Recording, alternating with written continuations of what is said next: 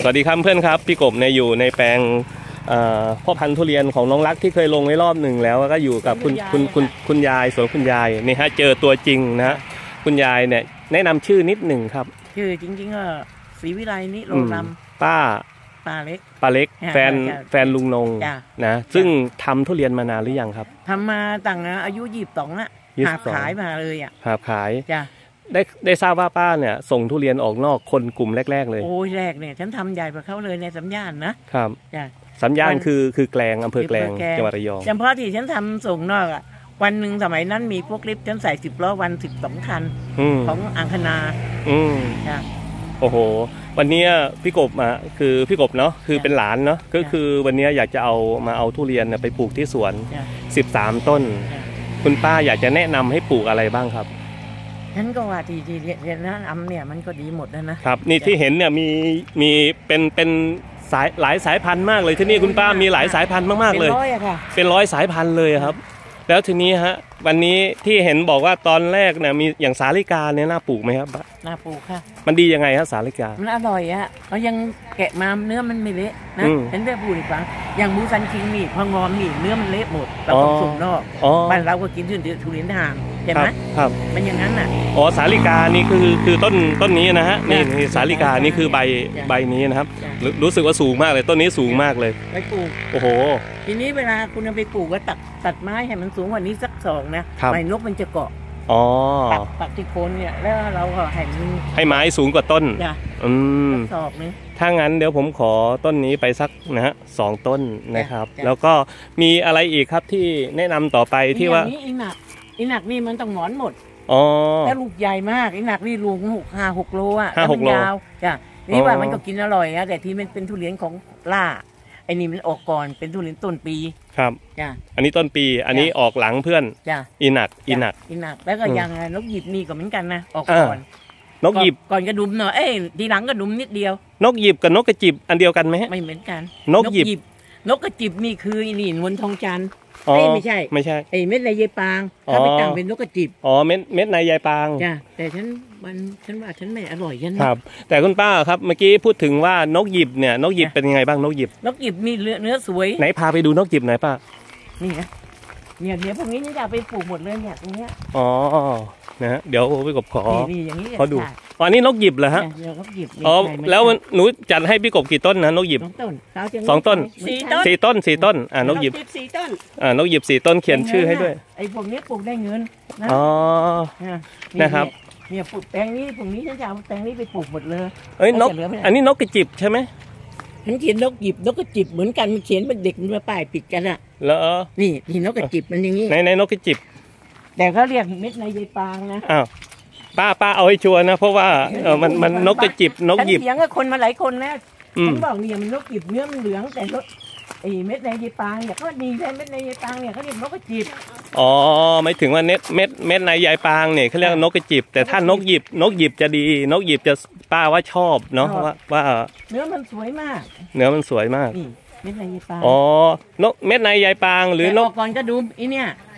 อ๋อนี่แกเม็ดก่อนก็ดูสิบกว่าวันเม็เนี่ยดเม็ดในใยปาเม็ดงในยายเนี่ยปางนกหยิบอ๋อหรือนกหยิบนกนกหยิบนกนกนกกระจิบนกกระจิบเอออ้าวน้องไอ้นั่นเดี๋ยวมันนกหยิบไอ้ตรงนั้นนะเขียนว่านกกระจิบนะมันมันนกหยิบต้องเป็นนกหยิบนะนกหยิบ ฝั่งนู้นต้องเป็นนกหยิบ จ้าเออสาลิกาสองต้นนะฮะแล้วเนี่ย มันจะเม็ดในใยปางฉันบอกเขาไม่ใช่นกอืมนกกระจิบเออนกกระจิบกันเม็ดในทีเขาเรียกเป็นสองชื่ออ๋อไม่รู้จะว่าไงอะ ถ้าอย่างนั้นอ่าตรงนั้นเขาเรียกว่านกนกหยิบใช่ไหมฮะนกหยิบ อ๋อที่ที่ที่ไปเอามาแล้ว จ้า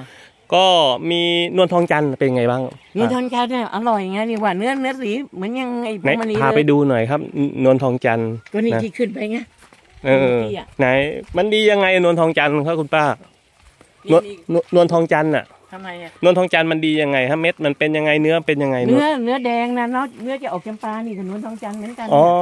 ครับะอ๋อนี่นวลทองจันทร์เหมือนกันเดี๋ยวเดี๋ยวฉันไปเขียนให้เออเดี๋ยวเขียนให้หน่อยนะ เพราะว่ามันจะนั่นเพราะว่าพี่กบเองจะมันก็เป็นแบกค้าขายนะครับไอ้ตัวเนี้ยเราไม่ต้องปลูกนะ อันนี้อะไรมูซันชิงอ๋อโอ้อ่าอ่าอันนั้นปลูกแล้วเออไม่ต้องปลูกอะคุณป้าบอกว่าไม่ต้องปลูกก็เขาคุณปลูกป้ากันเยอะคุณป้าเนี่ยปลูกมาเยอะ อันนี้นวลทองจันทร์นี่แล้วปลูกทุกวันก็อร่อย อันนี้นวลทองจันทร์ก่อนจ้ะป้าคือมันเป็นยังไงนะที่ว่าคุณป้าว่าน่าจะปลูกน่าปลูกนวลทองจันทร์ มันออกมันออกก่อนไงออกก่อนด้วย พร้อมกระดุมไงมันแก่อย่างนกกระจิบอะไรพวกเนี้ยมันออกก่อนหมอนนะครับจ้ะเหมือนอยังกระดุมเนี่ยเราฉันขายกระดุมปีกายเนี่ยฉันขายร้อยเจ็ดสิบครับแต่ว่าหมอนขายได้ร้อยหกสิบครับ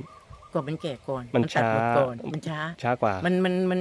มันออกซะมากแล้วใช่ไหมใช่ครับพวกนี้มันออกมากคนมันก็ไม่อยากกินของใหม่อันนี้อันนี้อันนี้มันออกก่อนเพื่อนๆจ้ะ แต่เนื้อเหรอครับ นวลทองเนื้จัอนทร์แดง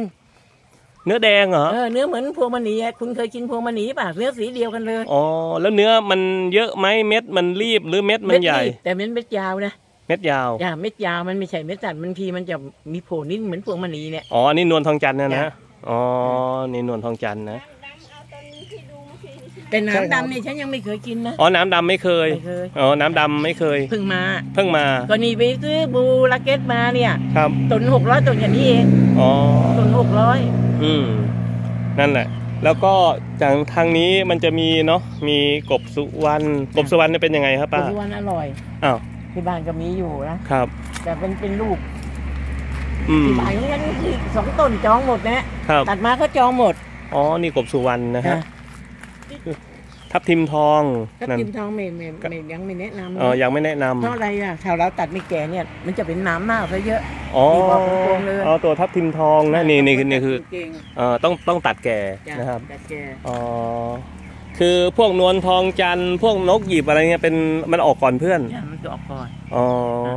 เม็ดออกในก่อนพวกนี้ด้วยนกกระหยิบอ่าเม็ดในในปางไม่ไม่ยังยีปาก อ่อนก่อนกระดุมก่อนเหมือนกันก่อนกระดุมแต่แต่แต่ไม่อร่อย สู้นกนกหยิบไม่ได้ต้องหยิบอร่อยปลาเออเมื่อกี้เมื่อสักครู่นี้ที่แปลงนั้นที่เห็นเขียนว่านกกระจิบ นกกระจิบ จริง ๆ มันคือนกหยิบอ่าอ๋อโอเคเนาะเอ่อนี่คุณเขาเขาก็เถียงเขาว่าคุณก็ว่าต้นตำรามันเป็นอย่างนี้ฉันก็ไม่รู้อ๋อไม่รู้จะเถียงเขาว่าไงอะเนาะครับ ไม่เถียงครับอ่าเอ่อไม่เถียงไม่ไม่เถียงไม่ถามทำตามอย่างเดียวจ้ะป้าว่าไงผมก็ว่างั้นจ้ะ เออเพราะว่าป้ามีประสบการณ์ แล้วหยุดทำทุเรียนส่งนอกนานหรือยังครับ เอ๊ะรู้สึกว่าฉันหยุดมาเป็นเกือบยี่สิบเกือบ20ปีเพราะแล้ลูวกทำไงลูกเพราะทำลูกก็มาทำต่อไปเงี้ยแล้วหลานก็ทำต่อครับไอเนี่ยแผงไอเสียน้อยอยู่อยู่เมืองสูงนั่นครับก็ของของฉันนะครับให้หลานฉันน่ะเนี่ยมาสอนต่างเอาออกเรียนมาเลยอืมแล้วเวลานี้กูดังอยู่ใต้กูดังเขาเกือบร้อยล้านอะแต่ละแห่งนะครับครับเพราะเนี่ยมือฝาฉันเลยที่ทำมานะโอ้ทำมานานแล้วจ้ะ แล้วก็คุณป้ากับคุณลุงลงก็มาบุกเบิกทำทำที่สวนยางแล้วทำสวนยางเลยไม่เอาแล้วทุเรียนครับอืม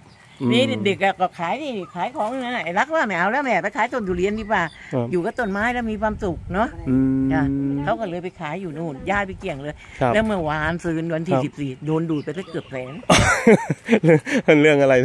เอออ๋อเขาว่าไงเออไอ้คนมันบอกว่าเนี่ยต้องไปเสียค่าภาษีนะเออ ไอ้ลูกค้าก็ว่าเลิกทำแล้วไม่ได้เสียภาษีเยอะงั้นคุณต้องไปอ๋อแจ้งเลยอ๋อ เดี๋ยวธนาคารเก็บเก็บภาษีอ๋อโอเคโอ้มันดูดไปซะเออเรื่อง เก้าหมื่นเรื่องภาษีใช่ไหมอืมอ่าโอเคดังนั้นแล้วก็มีอะไรบ้างครับ ที่อยากจะชี้ให้ลูกๆหลานๆในคลิปนี้ไหนๆลงแล้วก็ทีนี้ให้มีตัวใหม่ให้ป้าเล็กตัวนี้ป้าเล็กพาแนะนำหน่อยตัวใหม่ตัวเนี้ยมันมีไอ้ยาวลิ้นจี่ที่เขาเปิดตัวใหม่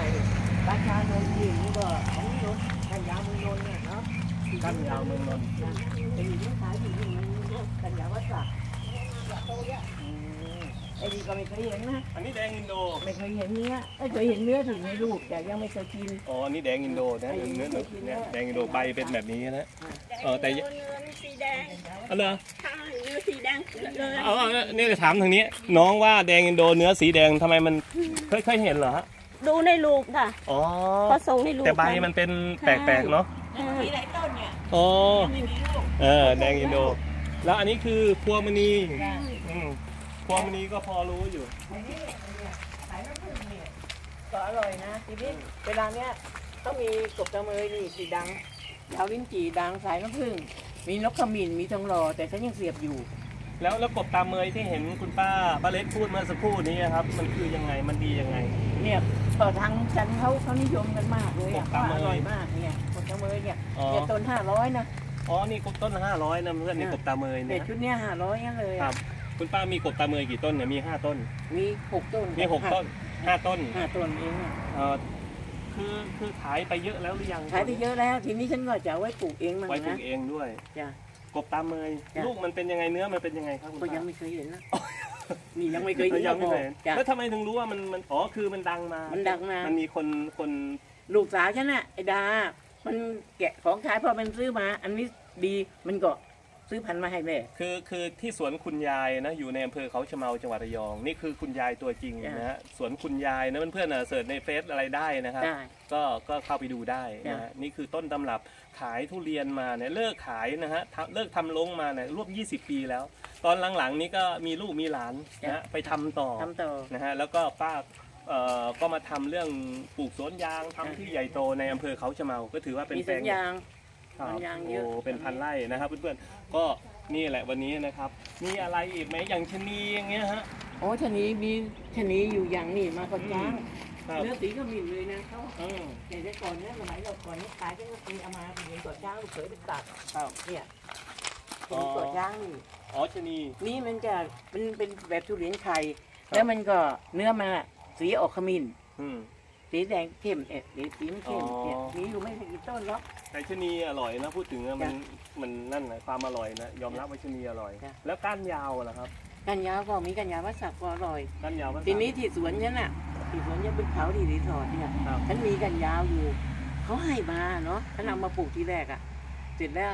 พอเอาไปกินมีแต่คนติดใจสั่งจองลูกฉันก็เลยสั่งเสียบเนี่ยเอาไปให้เขาเสียบอยู่ตรงนู้นน่ะ ตั้งกันตั้งชื่อเป็นกันยาวสีวิไลอ๋อก้านยาวสีวิไลจ้ะอ๋อเอาชื่อแม่ไปแล้วก็อ๋อตังวนลิขสิทธิ์ อ๋อ นี่เป็นชื่อของคุณยายเล็ก คุณจ้ะคุณป้าเล็กเลยนะจ้ะฮะเป็นก้านยาวสีวิไลจ้ะในต้นพันธุ์อยู่ตรงไหนครับตรงนี้เดี๋ยวไปดูหน่อยมันมีตัวต้นยังเออเสียบได้ก้านยาวสีวิเสีไลยบไปได้สองร้อยกว่าต้นเองแล้วกันนี้ให้เขาเสียบมาเองไม่ได้เอาเลยอืมแต่ฉันไม่ขายแพงหรอกครับ มีคนชอบกินแล้วออกมันมันจะออกมา ลูกมันเนี่ยมีเขียวจัดนะ มันจะออกสีเทาๆหน่อยแล้วกบพี่คุณน่ะตัวพี่คุณยังเสียบอยู่หมดแล้วมันใช้นะเอ้อะไรนะดังดังดังดังเอามาให้อยู่น้ำดำจ้ะไปเอามาให้เขาแล้วต้นต้นเดียวพอหนูต้นเดียวน้ำดำอืมอันนี้คืออะไรครับเนี่ยการยาวสีวิไลอ๋อนี่ก้านยาวสีวิไลจ้ะอ๋อนี่ก้านยาวสีวิไลนะฮะเป็นชื่อของคุณป้าเลยอะนะครับก้านยาวสีวิไลเนี่ยอายุกี่ปีออกลูกครับ อย่างเงี้ย ของฉันนี่ปลูกสี่ปีห้าสามปีหมดมีออกลูกหมดนะอ๋อคือเราบำรุงมันถึงอะคนเดียวปลูกยังไม่ได้สามเดือนได้แต่เนี้ยครับนี่เขาไปดูอย่างเงี้ยในเนี้ยเดี๋ยวมีโอกาสอ่าพาเอาไปดูพาไปชมแล้วดูสวนสิฉันว่าฟังเป็นปิ่นอยู่เนี่ย ปัดดอกพึ่งจะเสร็จเนี่ยตัวเนี้ยมีสี่พันสี่พันต้น สี่พันต้น โอ้นะเพื่อนๆครับนี่คือ อันนี้คือก้านยาวสีวิไลนะฮะอ่าเป็นเรียนที่คุณคุณป้าเล็กเนี่ยอะ เอามาเสียบนะฮะเสียบตาแล้วก็จากก้านยาว แล้วก็มาตั้งชื่อนะตั้งชื่อเป็นของชื่อคุณป้าที่ผมเลยว่าก้านยาวสีวิไลแล้วก็นอกจากนั้นก็จะมีที่นี่มีทุเรียนหลายสายพันธุ์มากๆนะต้นพันธุ์นะครับหลายสายพันธุ์มากๆ ด้วยประสบการณ์ของคุณป้าอยู่กับวงการทุเรียนมานานร่วมน่าจะ 40 ปี 50 ปีน่าแล้วจะมั้งถึงนะก่อนฉันอายุยี่สิบสองอะครับ ฉันทำธุรกิจหาบขายก่อน แล้วตอนนี้ฉันแปดสิบเอ็ดละโอ้โห เพราะฉะนั้นนี่คือ ท่านหนึ่งที่มีประสบการณ์ ถ้าพูดถึงเรื่องประสบการณ์ หรือความรู้ข้อมูลพื้นฐานของทุเรียนน่าจะมีประสบถ้าการณ์อยากมรู้ก็ไปดูรูปที่ลูกสาวฉันน่ะครับ มีเอทีเอน้องดา มีมันครับเก็บไว้เยอะเลย อ๋อ หลังสมัยหาบขายแล้วจะมาทำส่งนอก ครับ คนงานสองร้อยกว่าคนเนี่ย ครับ วันส มัยนั้นทำเข่งตรงยังไม่มีอะอืมโอ้ยทำมานาน นี่ฮะวันนี้ก็ต้องขอบคุณนะฮะเอ่อความรู้ดีๆ เบื้องต้นนะฮะในวันนี้ที่คุณคุณป้าเล็กนะได้ได้ให้ข้อมูลพวกเราพี่กบก็มาอุดหนุนเอาไปปลูกด้วยจ้ะนะเพราะว่าพื้นที่ไม่เยอะจ้ะ ปลูกน้อยๆก็ต้องเลือกหลายๆสายจ้ะพันธุ์ จ้ะ ครับขอบคุณคุณป้ามากๆจ้ะเลยสำหรับวันนี้แล้วก็เพื่อนๆที่ติดตามคลิปนะของพี่จ้ะกบด้วยนะครับ สวัสดีครับจ้ะสวัสดีครับคุณป้าขอบคุณครับเดี๋ยวฉันจะให้